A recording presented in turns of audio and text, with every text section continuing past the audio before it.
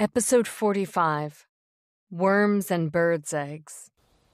Stephen hesitated for a moment before saying, I'll go into hibernation during the cold season. Hibernation during the cold season was the main reason snake beast men's mates had a high mortality rate. He learned from the old legacy teachings that at least half of snake beast men's females died during the cold season. Perhaps letting that leopard stay by Snow's side was the right decision. That was what Blair thought, too. She asked with uncertainty, Then, do you find the water here cold? I'd like you to go into the water to help me retrieve something. Stephen sunk his tail into the water and curled it around a fish basket. With a splash sound, he raised it out of the water. This? Right. This was what I was talking about. Blair happily grabbed the fish basket, then pointed in another direction and said, There are four more. One there, one there, and two over there. Stephen didn't even enter the water and only had to curl those baskets up with his tail. However, there was one basket that had been flattened. Blair shook the damaged fish basket.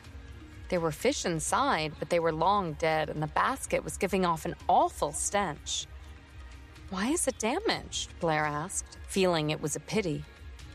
Stephen was a little sheepish. Yesterday, when he came, he seemed to have crushed something. Was this the thing he accidentally squashed? Don't cry, Snow. I'll help you make another one, Stephen said. Never mind. This fish basket is great at catching fish, so I think four is enough. Blair shook the undamaged fish baskets, all of which seemed to be filled with fish. By her rough approximation, it was at least double yesterday's quantity. After returning to the house, she poured out the fish and found that it was indeed more than double what she caught yesterday. What delighted her the most was seeing that several of her favorite lobsters were amongst the catch this time. There were several small fish with incomplete bodies, bitten by God knows what. Perhaps if they were to leave this basket in the water, the fish would be able to survive in it. Let me do it today. Roger took the fish from Blair. I've already mastered it. Blair, just go and sit in the grass. I'll call you when the food is ready. All right, Blair said. After Roger went out the door, she started preparing the firewood. Stephen quietly scooped a bowl of rice into the stone bowl, then went to the river, bringing along the bamboo with him. Shortly after, the fragrance of bamboo rice and stewed fish wafted through the air. Stephen skillfully held up the bamboo with two rods and, after poking away the cover on the bamboo, brought it to Blair. Here's Snow. Seeing this, Roger hurriedly handed a pair of chopsticks to her and said, Blair, the fish is cooked. Eat it. Blair took the chopsticks first and instantly felt a coldness emanating from Stephen. She quickly took the bamboo rice from him. I like to eat rice together with fish. The beastmen probably didn't eat this way. Blair was afraid they wouldn't believe her, so she picked up a small fish from the pot, placed it on the bamboo rice, then started eating with relish. As the fish and rice entered her mouth, Blair felt like crying. This was the first decent meal she had had since she transmigrated here. Finally. Roger curiously stared at her for a while, then asked, Does it really taste good this way? It's delicious. Do you want to try? Rice tastes the best when eaten with accompanying dishes. Blair then looked towards Stephen, her tone subconsciously becoming more gentle. Do you want to try as well? No, Roger instantly refused. No way would he touch food cooked by that snake.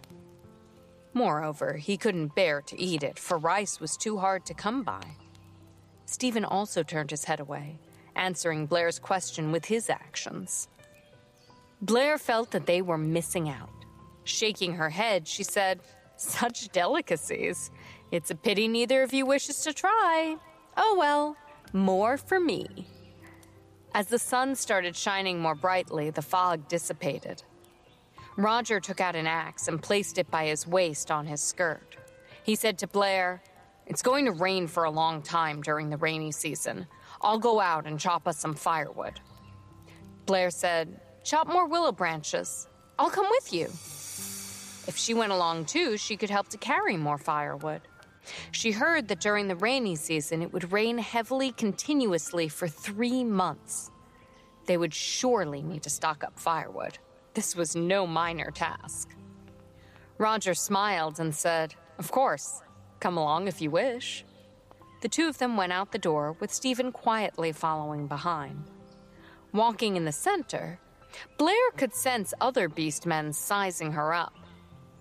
She turned around, looking at Roger and Stephen next to her, and realized with a shock that she was now no different from the females here, going out with an entourage. The three of them went out of the city of beastmen and came to a thick forest. Roger took out his axe and started chopping the firewood.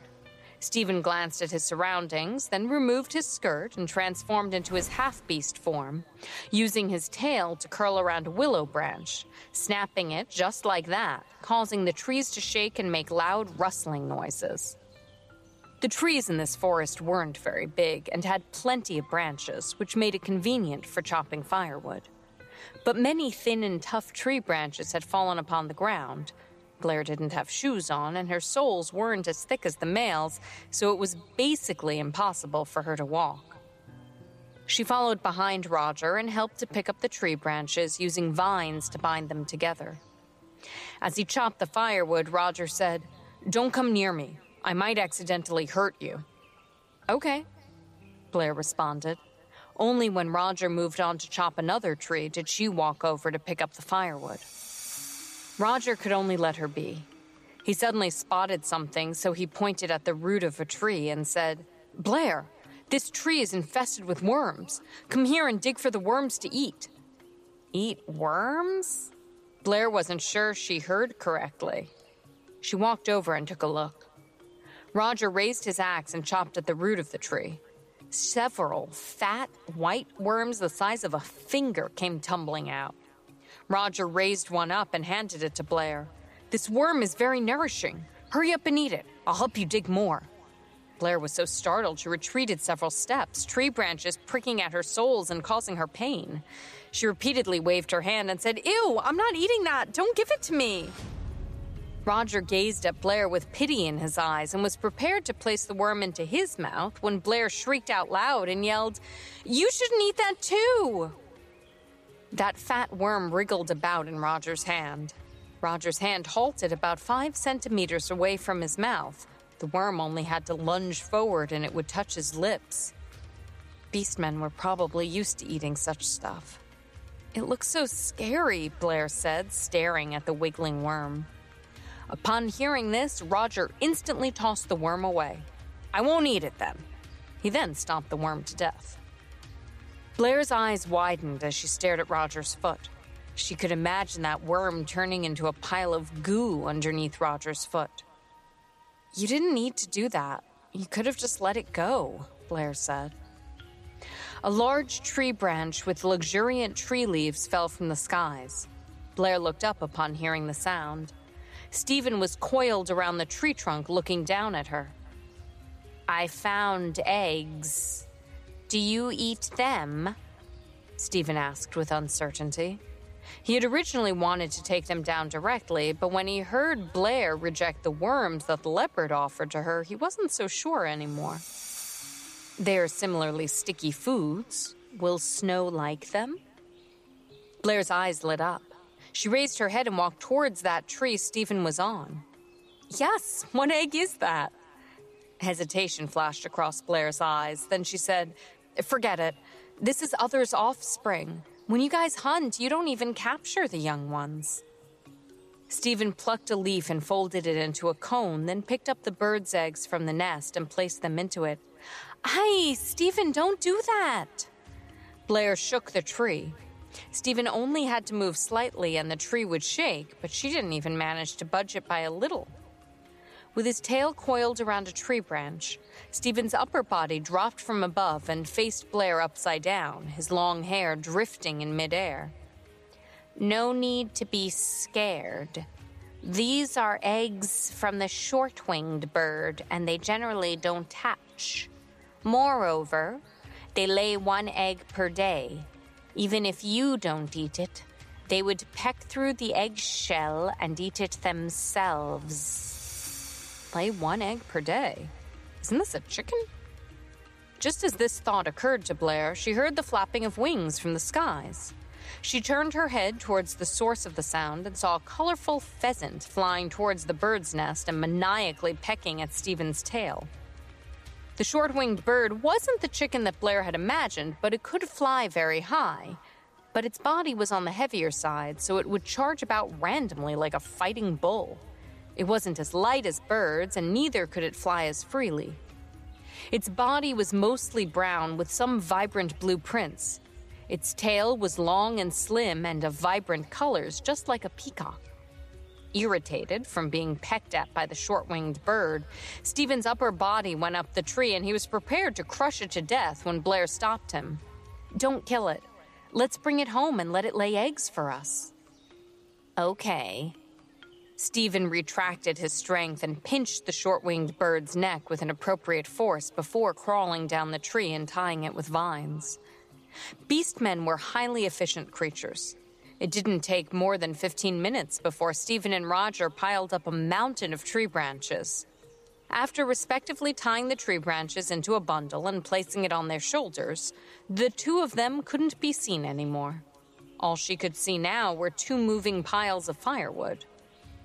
Holding ten odd eggs, Blair tipped her toes and was prepared to bear with the pain and walk back by herself. She made a mental note to remember to wear shoes next time. Even ones weaved from grass would do, else she wouldn't be able to enter the mountains.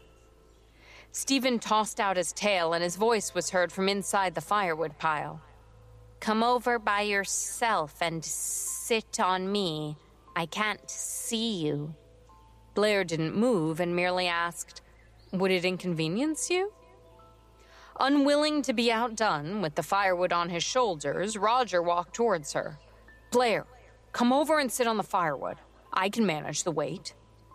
Based on his sensitivity towards sound and warmth, Stephen curled his tail around Blair and started slithering towards her.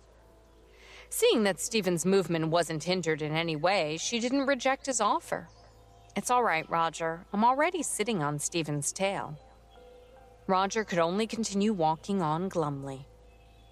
The firewood they chopped this time occupied one third of the main room. Blair realized that she had belittled the beastmen. At this rate, she figured it would take them less than half a day to fill up the main room and bedroom with firewood. Little female! The rich voice of a male could be heard at the door. Blair, who was squatting down and gazing at the short winged bird, looked outside upon hearing the voice. It was that brown bear beast man who fought with Roger yesterday. Seeing that the female he fancied already had two males, George could no longer sit still. He had prepared his signature honey barbecued meat, and upon seeing that they had returned, came running over.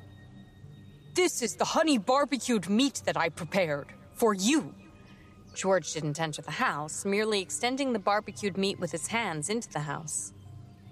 Blair knew the bear's motive for coming, so she naturally had to reject him. But the instant she heard the words honey barbecued meat, her focus shifted. Honey barbecued meat? Looking at the glazed golden thigh of an unknown animal, Blair's mouth started watering.